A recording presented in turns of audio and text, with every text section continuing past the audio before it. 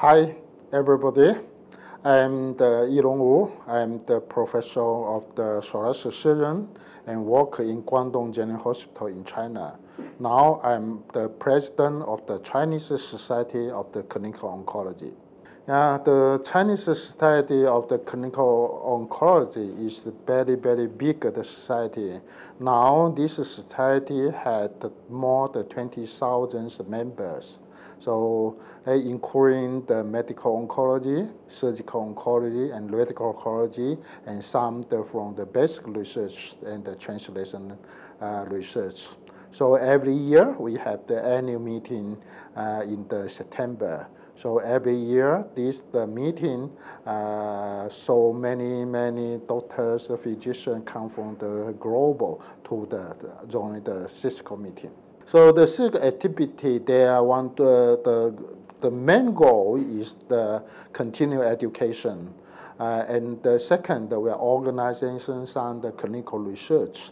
We, my, our goal is to promote the guideline and the treatment for cancer and go to the fight cancer. Oh yes, the the, the CSCO, the one goal is the with cooperation with the, another society, especially in the global, such as we have the cooperation with the uh, American Society of Clinical Oncology and the ESMO Oncology and also the ARCOS.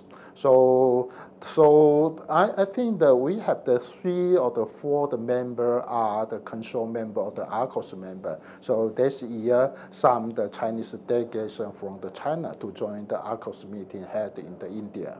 The, the, the lung cancer is a very big problem in the China. So the, in the in statistic in the 2000 years, every new year with 6,000, uh, 600,000 new cases per year in the China. And this year, 2016, the, the China government report uh, 710 uh, thousand new cases in the China. So this is a big problem.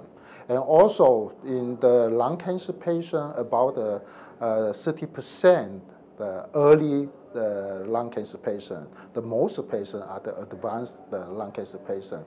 I think maybe this is similar to Indian.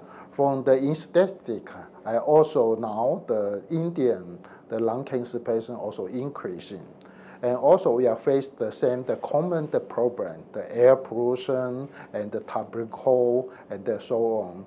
And the China, the most the lung cancer patient uh, had some the genetic mutation, such as the EGFR mutation, about 60%.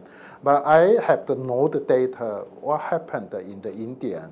Uh, but some the uh, figure from the paper, I know that in the Indian patient, the EGFR mutation only the 20 to 30 percent. I think this is a difference.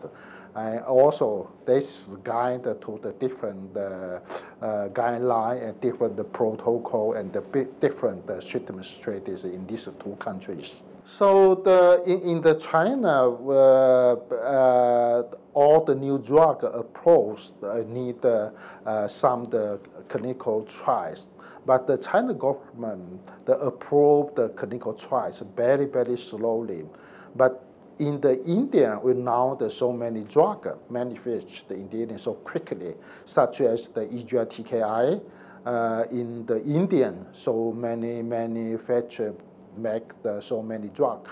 But this is the absent in the China. So and now the so many Chinese patients buy the drug from the India, uh, from the, the website, from the internet.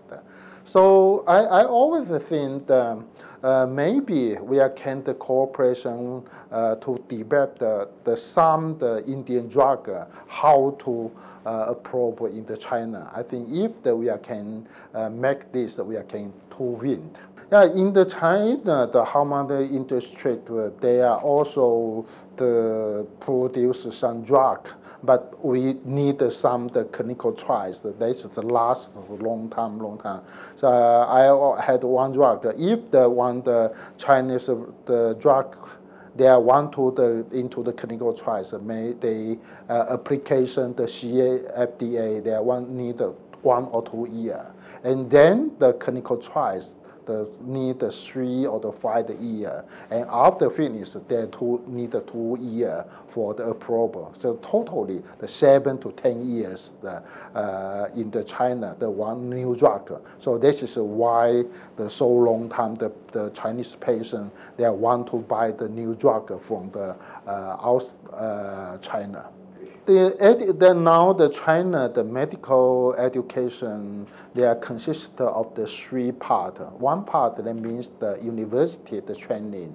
So the all the people want to become the physician, become the doctor, they need to study in the university four to five years.